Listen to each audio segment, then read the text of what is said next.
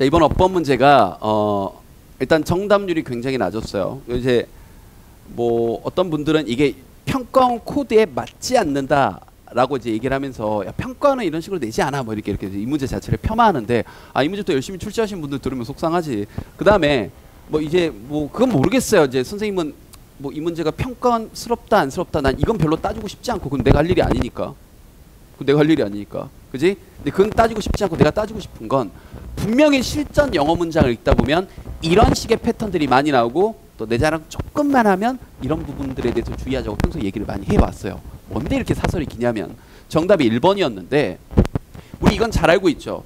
위치는 관계대명사니까 일단 앞에 선행사가 필요하고 뒤에 이어지는 문장에서 뭐 아니면 뭐가 없어야 되지? 주어 아니면 목적어가 빠져 있어야 돼요. 근데 일단 행여나 이 문제를 이렇게 해서 맞춘 친구들이 있으면 어 로이얼 사람인데 위치가 아니라 후 이렇게 풀었으면 맞췄는데 이 새끼야 그러면 안 돼요.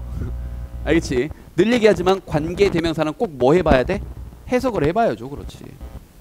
알겠지? 그러니까 이건 이제 바로 앞에 있는 로이얼 설명하는 상황은 아니었고 되니? 그러니까 이건 중간에 어떻게 보면 이제 꼈다라고 볼 수도 있고요. 정확히 얘기하면 여기 이렇게 어디 갔니? 꼈다라고 볼 수 있어요. 알겠지? 근데 어쨌든 네가 이런 걸 몰랐다 치고 이걸 조심했었어야 돼. 어쨌든 관계 대명사니까 뒤에 뭐 아니면 뭐가 빠져 있었어야 돼? 주어 아니면 목적어가 빠져 있었어야 돼요. 근데 우리 눈에 보이는 주어는 일단 누구니? letter라는 단어가 나왔습니다. 후자라는 단어가 나왔네요. 그지? 그 다음에 will not disclose라는 단어가 나왔는데 일단 disclose가 뜻이 뭐지? 드러내다, 밝혀내다라는 뜻이에요. close가 닿다니까 disclose는 반대 동작을 나타내서 그럼 당연히 뒤에 뭐가 나와야 돼? 무엇 무엇을 드러내다, 밝혀내다 그래서 목적어가 나와야 되는데 나오라는 목적어는 나오지 않고 뭐가 나왔니? 전치사 플러스 명사가 나와서 당연히 언뜻 보면 뭐가 빠진 것처럼 보여? 목적어가 빠진 것처럼 보여서 맞는 것처럼 보인다고요. 결론은 틀렸는데. 왜냐? 눈 크게 뜨고 보면 체크 좀 해줄래요? 이렇게요. 평소에 많이 얘기했던 패턴이죠. 전치사 플러스 명사는 어디든지 껴들어갈 수 있다. 조심해라. 특히 동사와 목적어 사이에 뭐 할 수도 있다? 껴들어갈 수도 있고 우리가 흔히 얘기하는 have pp 아니면 우리가 알고 있는 뭐 수거 이런 것들 사이에도 얼마든지 껴들어갈 수 있으니까 얘네들은 조심해야 된다. 그리고 이걸 떠나서 관계대명사가 시험 문제로 출제가 됐을 때는 꼭 뭐 해봐라? 해석을 해봐라. 그 문맥상 이 부분을 설명한다는 게 말이 안 되거든요. 알겠지? 그래서 이제 여기서 한 발 더 나가서 이 정도까지 알고 있었으면 좋고요. 얘가 중간에 낀 거고 이 동사에 대한 이, 이 부분에 대한 should be assured에 대한 목적어 역할을 하는 뭐 위치가 아니라 뭐로 바꿔야 된다? that으로 예, that으로 바꿔야 된다까지 알았으면 더 좋고 몰랐어도 상관은 없어요.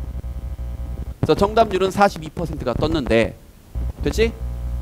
오답이 어디로 하나 쏠렸냐면 선택지입니다. 2번으로 좀 쏠렸습니다.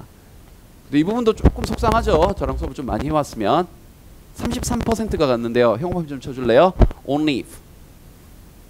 뭐 느낌 좀 옵니까? 느낌 좀 오니?